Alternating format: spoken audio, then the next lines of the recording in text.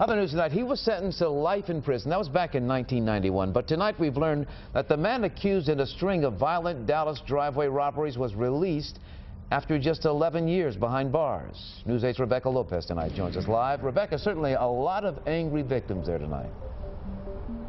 I spoke with one of the possible victims tonight, and she is very upset that a convicted sex offender and violent robber was on the streets, and now there may be more victims.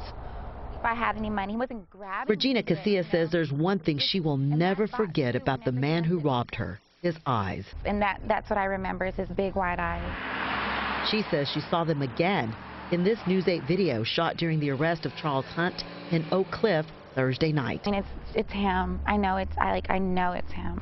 Casillas was robbed at knife point two weeks ago. Police have not linked Hunt to her case, but called her today about his arrest. Court documents show Hunt and his girlfriend, Santana Andrews, confessed to two other driveway robberies, one in Oak Cliff last night, the other across town on Skillman on Tuesday. Court documents show in that case, Hunt had a knife. Andrews had a gun and robbed a woman and her five-year-old son.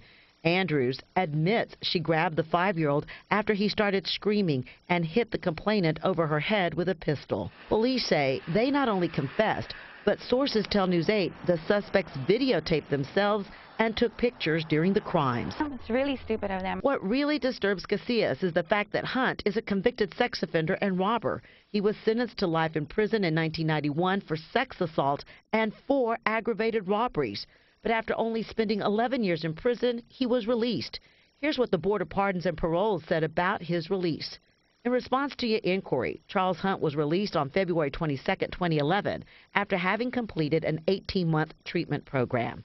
The board did not answer our questions about what type of treatment program would allow a violent, habitual offender back on the street. That's scary. He shouldn't even been out.